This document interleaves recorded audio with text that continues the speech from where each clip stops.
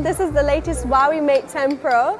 This phone. I heard it has an AI camera that can recognize 13 scenes and objects and optimize the quality automatically. Its new Leica dual camera has the largest aperture that can easily take crystal clear night shots. Now, I'm a professional photographer. I also heard I can save up to 350 dirhams during the Dubai Shopping Festival. Uh, I'll take it.